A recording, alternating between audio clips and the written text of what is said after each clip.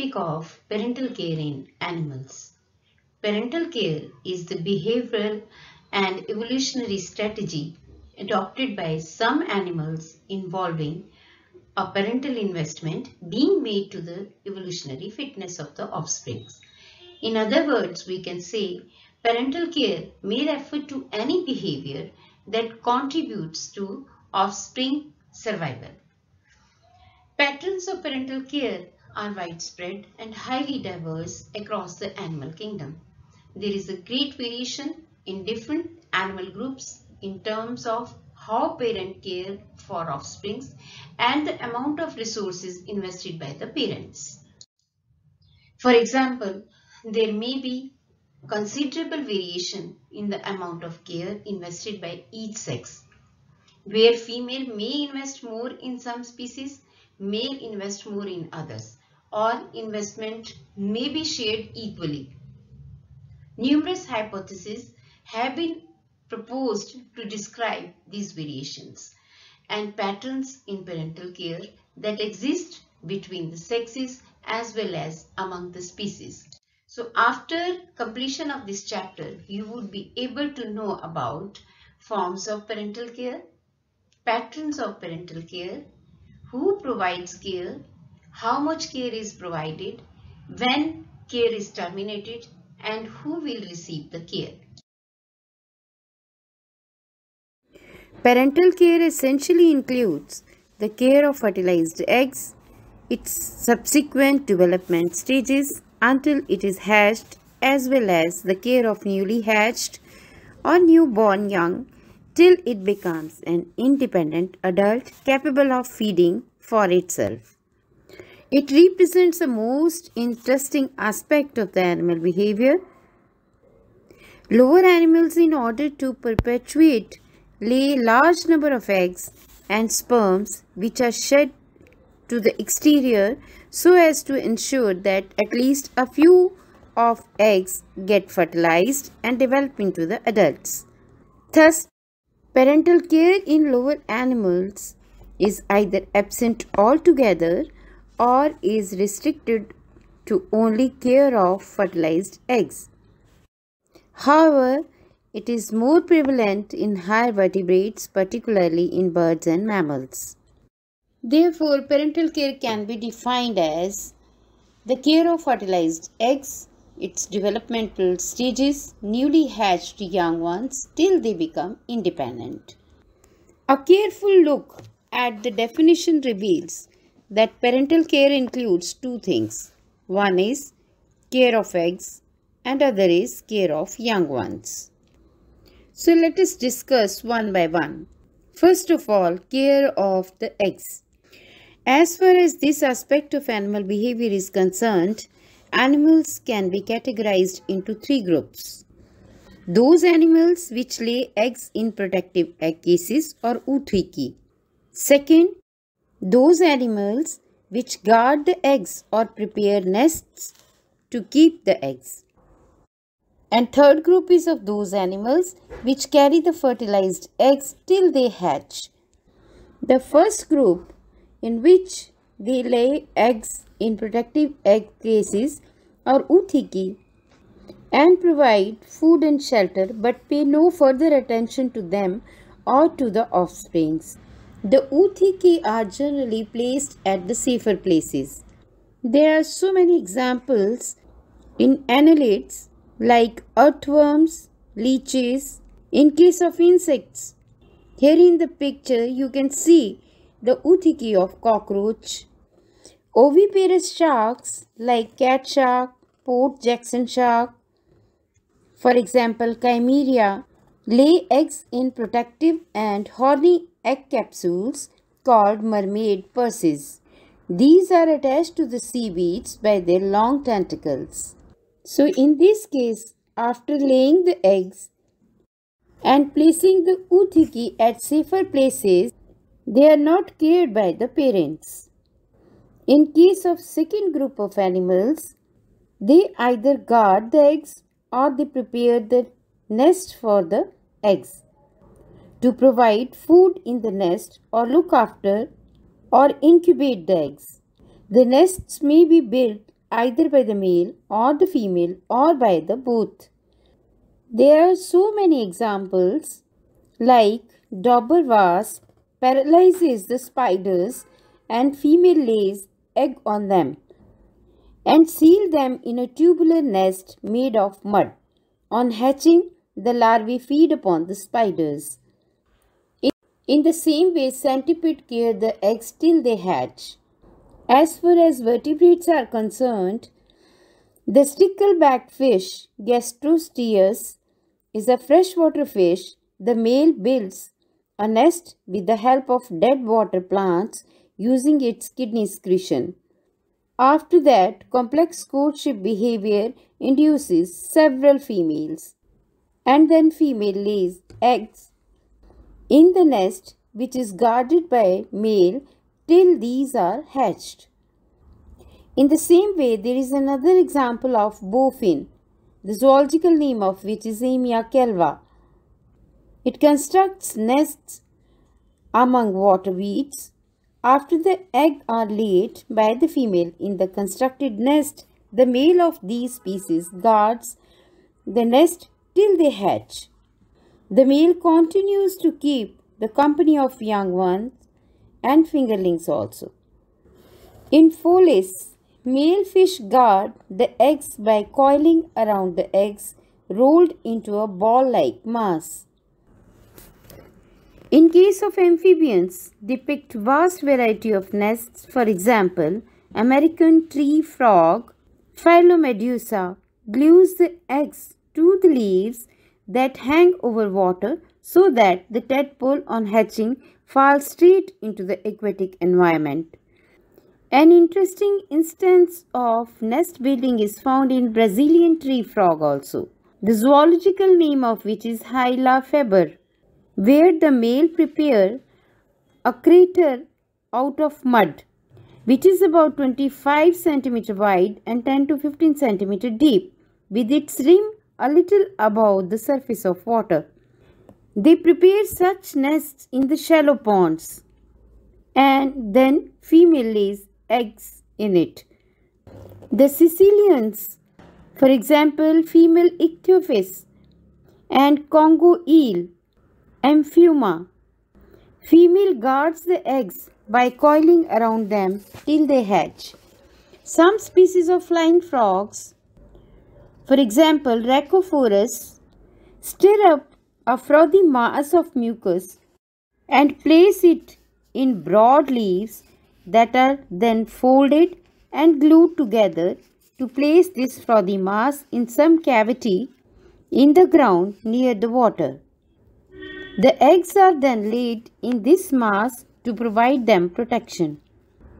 In case of reptilians, nests of crocodiles range from a simple hole to mounds of vegetation and other material, then eggs are laid in these nests. Communal egg laying is also found in reptiles.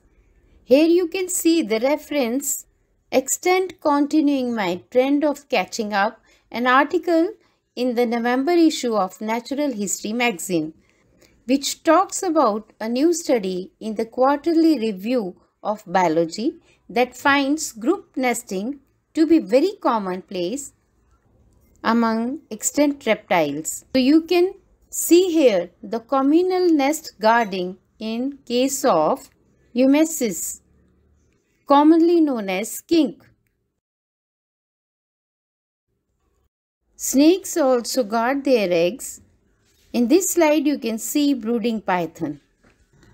In case of birds, they lay shelled eggs. And the construction of nest is essential to lodge the fertilized eggs, which are then incubated and guarded by the parents. So in case of birds, parental care starts before egg laying with the preparation of nest. And when the eggs are laid, they are incubated and guarded by the parents. And after that, when they hatch, the young ones are also cared by the parents. So it is very long period for which the birds take care of their offsprings. Birds prepare a variety of nests. The nest of some birds consists merely of a few blades of grass in a depression of the ground or tree hole. However, some species of the birds, like weaver bird, prepare really beautiful nests. The eggs are laid in the nests, which are then incubated by one or both the parents.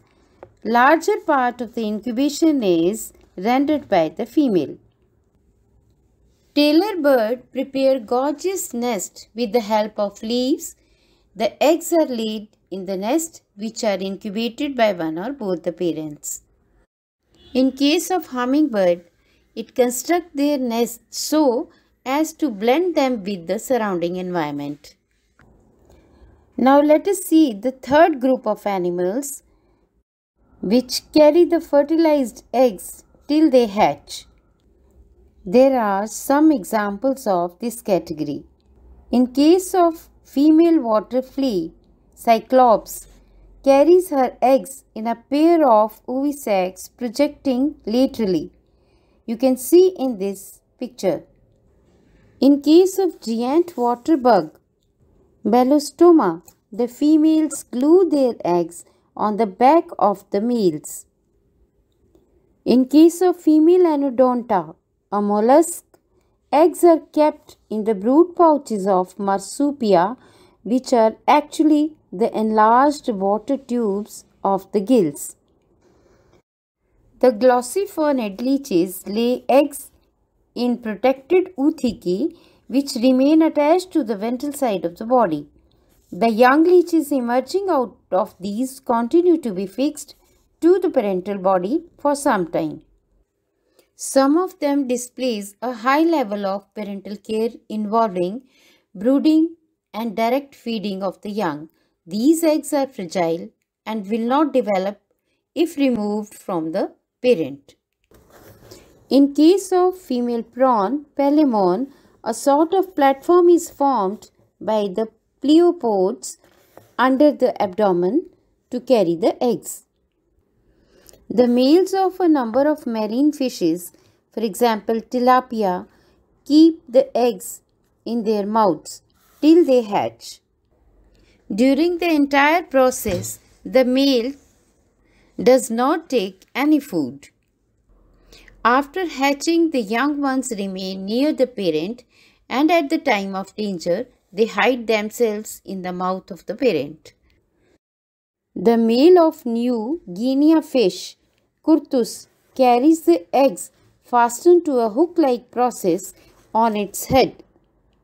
The male seahorse Hippocampus keeps the eggs in a brood pouch which is developed on its abdomen. In Cymatogaster, the fertilized eggs are kept in the body cavity till their hatching and fully formed youngs are formed. In case of amphibians, female dusky salamander Desmognathus fuscus carries cluster of eggs wrapped around her neck. In case of midwife toad, Alytes obstetricans, the female carries strings of eggs wound about his thighs.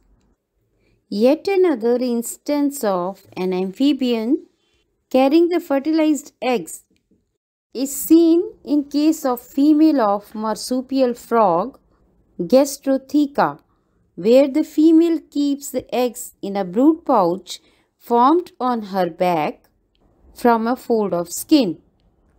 This pouch opens posteriorly. The female Suriname toad Pipa pipa carries eggs in the brood pouch formed on her back only during the breeding season. So in this case, this brood pouch is temporarily developed at the time of breeding season. The male tree frog Rhinoderma darwini utilizes its enlarged vocal sacs to carry eggs till they hatch. In viviparous animals, owing to internal fertilization followed by the development of the embryo within the body of the female, Nest building activity is related to the development and care of the newly born young one only. Now we will take the second thing that is care of young ones. Once the young ones are born, they are to be protected. In case of invertebrates, only a few invertebrates show care for their youngs. Among annelids, glossiphoniid leeches continue to be attached to the parent body for some time. Parental care of offspring is commonly seen in the social insects like honeybee. The eggs are deposited in the hexagonal shaped cells in the hive and worker bees visit the cells, clean them, inspect them and feed the larvae that come out of the eggs. The larvae pupate and then adults emerges in a few days. Care of youngs is also seen in scorpions where female scorpion carries her offsprings on her back for about a week.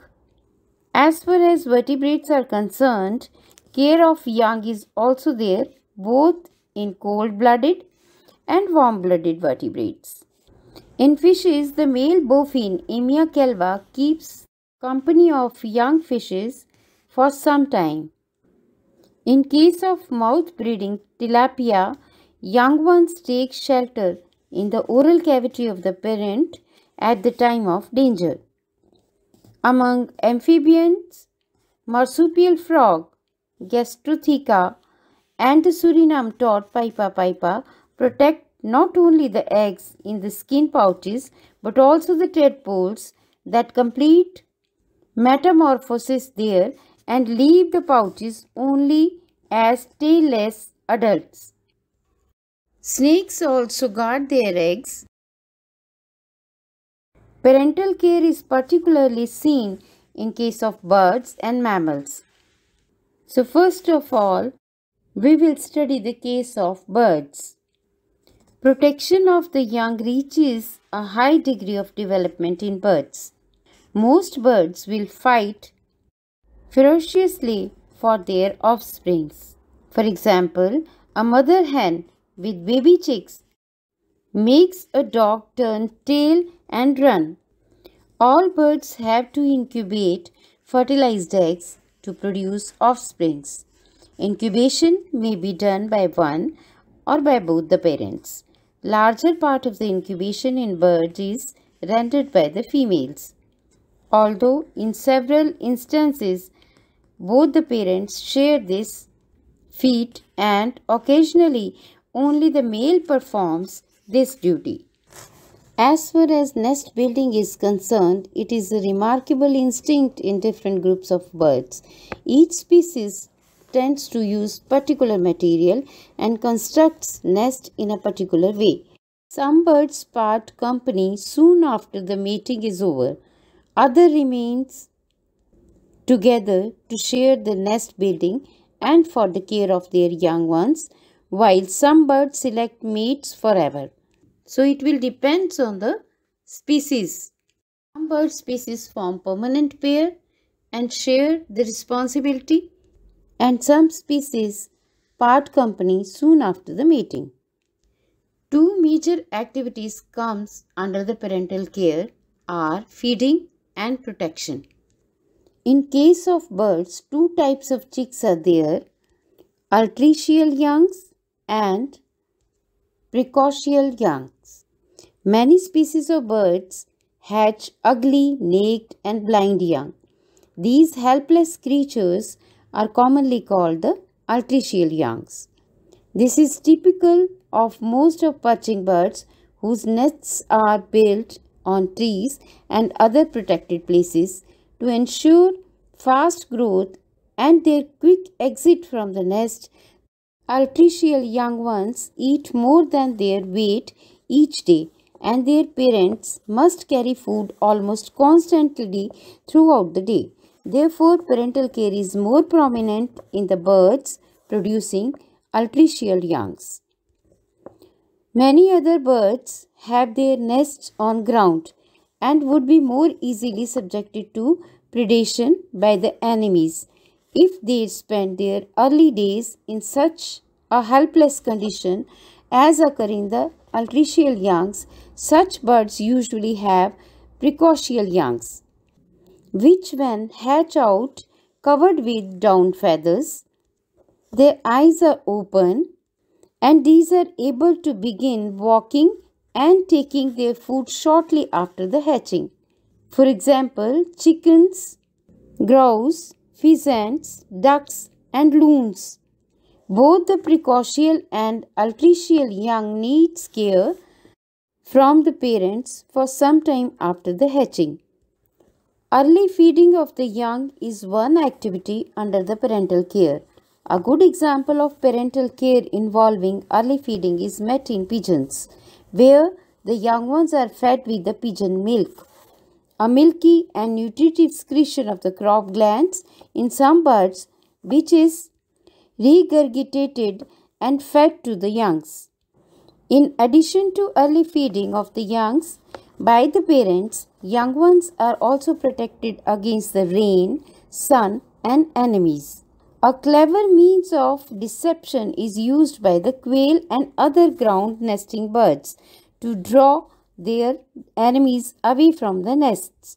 When a possible enemy approaches the nest, the mother quail will dart from the nest, flying and fluttering on the ground like a bird with the broken wings. The predator will not probably give chase since the flying and fluttering female quail appears to be easily obtained prey, after leading the predator for some distance, the female quail will fly into the air, leaving the predator a safe distance from the nest.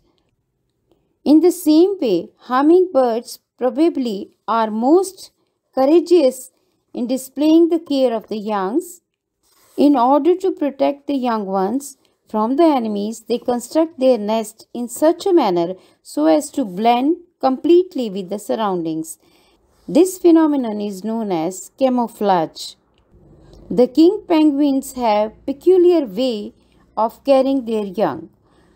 These birds do not construct nests but hatch eggs in a fold of flesh between their legs. An interesting phenomenon of nest parasitism is also seen in the birds. Many birds like cuckoos do not construct nests but lay eggs in the nests of other birds like those of crows for hatching and foster feeding of their young. This phenomenon is commonly known as nest or brood parasitism.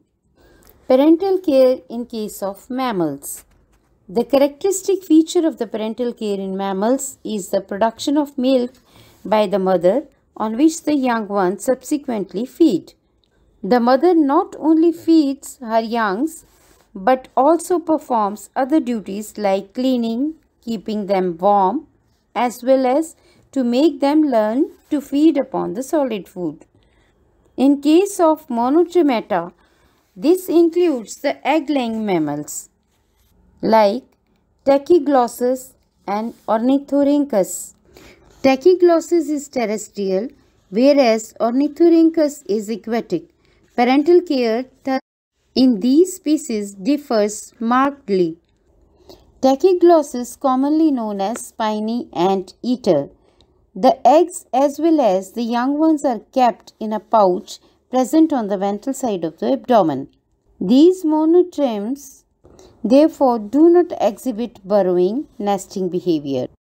The foolproof mechanism by which the eggs are transferred from the cloaca of the female to the pouch on the ventral side of her abdomen is still uncertain. However, most probably the eggs are passed directly into the pouch from the cloaca rather than the other alternative of placing them there with the paws of the mother. After hatching, the young ones are kept in the pouch and fed on milk from the mammary glands until they are about 20 cm long and 400 grams in weight. After the young ones are ejected out of the pouch, they are still taken care by the mother. Young ones are fed irregularly and the interval between the two meals sometimes it is long as 36 to 48 hours. In case of aquatic ornithorhynchus commonly known as duck-billed platypus execute a special nesting burrow ranging from 15 to 20 feet in length and 1 to 1.5 feet below the surface. Every time before laying eggs, the female extends the same burrow which may finally acquire the length of 100 feet or so. At the terminal end of the burrow, a chamber is formed which is lined with the grass, leaves, etc. to form the nest. The female remains in the nest during the incubation period with her body curled around the eggs. The burrow is plugged from inside at more than one point all along its length to provide the safety to the young ones. So various activities concerning parental behavior in ornithorhynchus are digging of the burrow, making of the nest at the terminal end of the burrow, incubation of the eggs by curling of the female's body around them, then blocking of the burrow at several places to ensure the safety to the young ones, and above all, suckling the youngs. In case of marsupialia, parental care in marsupials involves many activities like the pregnant female removes dark colored scales from the inner side of pouch called marsupium and thoroughly cleans it.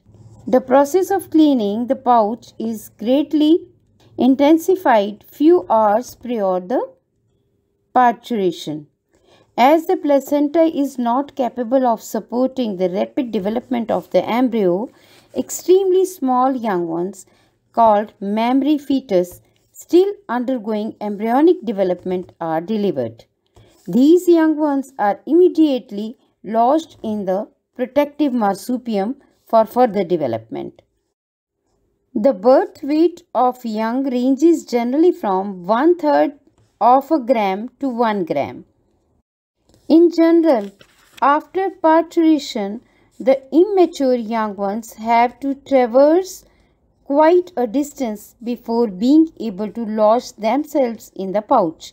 There are evidences to the fact that surprisingly the mother does not assist the young in this great task.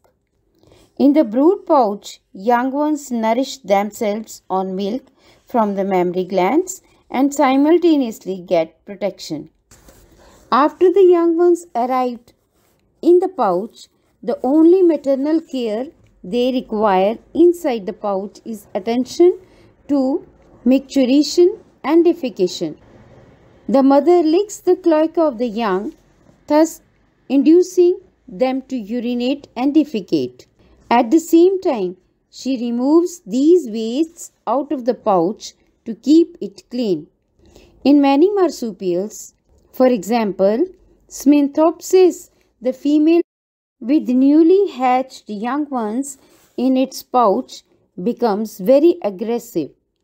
In kangaroo and wallaby, the young ones are nourished in the pouch until they are able to take the solid food the duration of their stay in the pouch varies from species to species. In Megaleia rufa, the young is about 190 days old when it comes out of the pouch for the first time, but for a short interval. This activity continues till the young is about 235 days old. Even at this stage, the young keeps the company of the mother and at intervals is still permitted to put its head inside the pouch for sucking the milk. This continues till it is about one year old.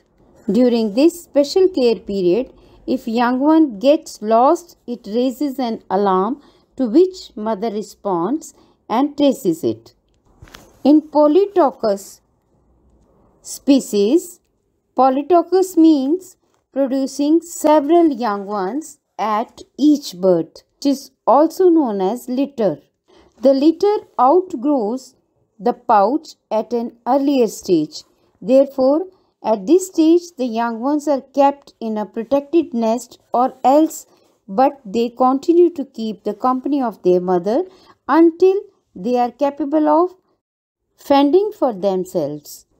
In case of opossum, according to Hartman 1952, all young ones are carried on the back from the time they become too large for the pouch. In case of Mimosa,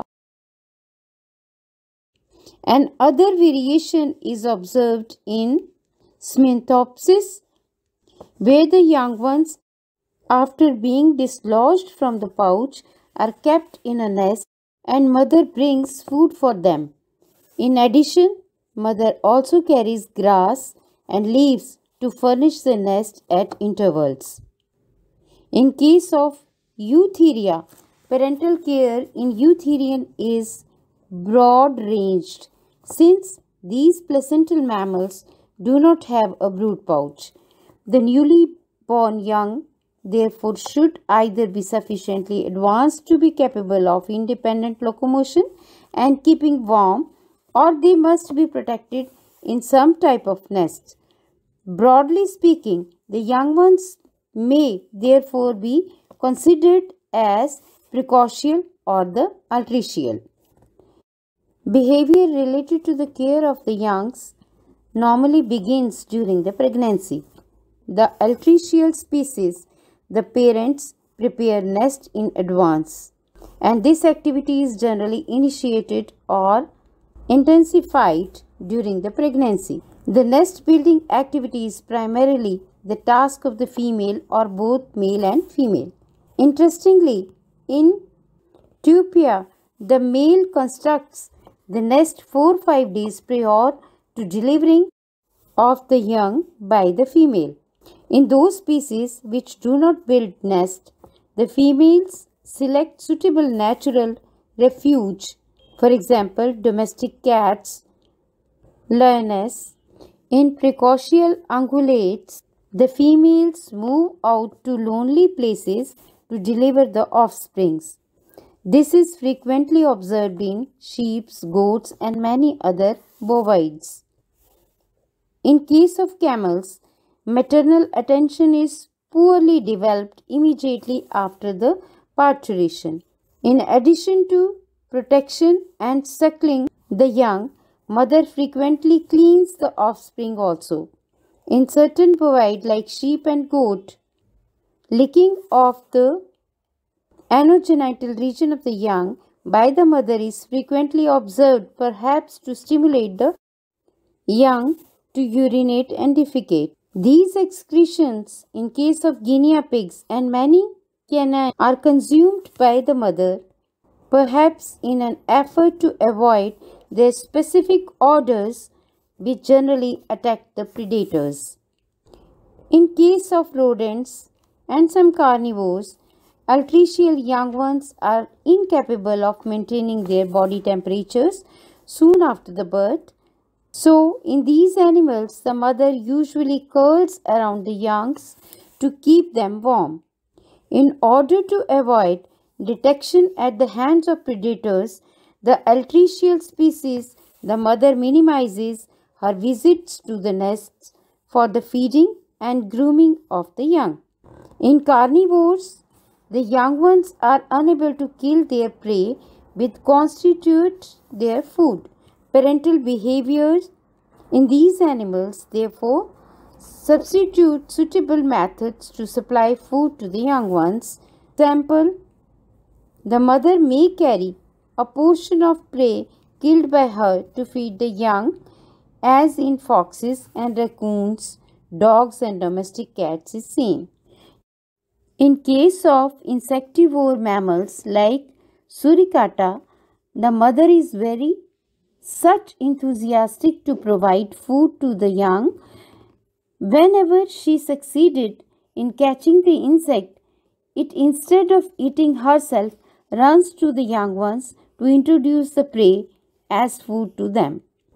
The youngs of higher primates are somewhat anomalous and cannot be categorized as either altricial or precocial. The newly born young ones possesses the fur and their eyes are open, but their mobility is limited.